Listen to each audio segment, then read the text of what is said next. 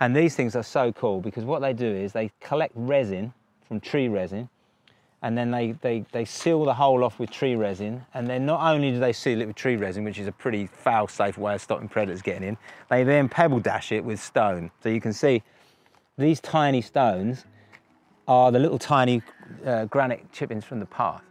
so they literally pebble dash the stone. So there ain't no, there's no way. Can you see it? Look. Yeah, It's yeah. literally pebble dashed. So there's no way a predator's going to get in there. It's Yeah. like a, it's like a fortress. so you know, quite wonderful. And I mean, you'd never see that going on. Would No, you? How wouldn't. you ever? I've it's never, going I've on. never seen that.